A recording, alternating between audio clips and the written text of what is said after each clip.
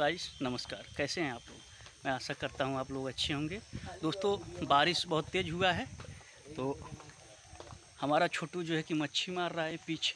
ये देखिए, पीछे छोटू मच्छी मार रहा है तो हम लोग भी चलते हैं उसके पास। तो चलिए, आइए मैं दिखाता हूँ।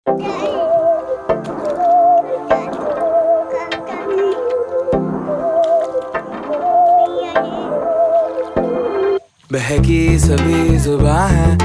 अब दोस्तों मैं आ गया हूँ फाइनली छोटू के पास। और ये देखिए इस तरीके से मछली को फंसा रहा है। मछली फंसी कि नहीं छोटू? फंसी हैं। कितने फंसे हैं? ये देखिए इस तरीके से जाली रखा लगा रखा है। और जब पानी का बहाव आता है तो सीधे इस जाल में पानी जा रहा है और इसी के सारे मछलियाँ भी आती हैं। दोस्तों हमारे पीछे आप पानी ही पानी देख रहे होंगे। ये देखिए यहाँ से वहाँ तक। दोस्तों इस ब्लॉग में बस इतना ही। मिलेंगे फिर आपसे नेक्स्ट ब्लॉग में।